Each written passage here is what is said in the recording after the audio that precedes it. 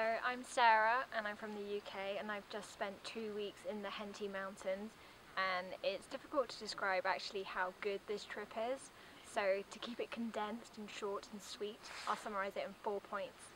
Starting with the people and the overall team, they all know what they're doing, they're intelligent, they're good humoured, um, they're just great to be around and ultimately spending two weeks with them is something that I would recommend to anybody. Secondly, I would say the most important point, the horses. They've got a wide range of horses uh, that caters to all kind of different levels. One thing I've learned is that they always know best. Um, so regardless of what you think is right, they will always show you otherwise. And they do know best.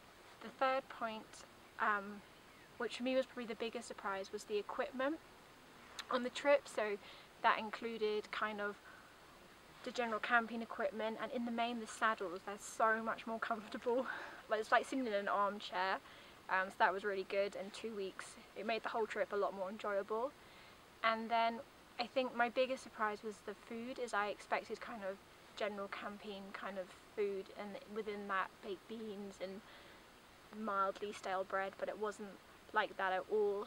Um, and I would say that the food on this trip deserves like a Michelin star in terms of camping cuisine. And my final point is kind of the overall scenery. It's just unbelievable. It's things like you only ever see in kind of National Geographic.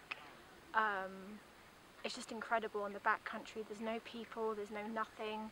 It allows you to switch off and not worry about, you just don't, you just forget everything and all work Blackberry emails there's no signal and it's just it's really really refreshing and it, it allows you to unwind and relax.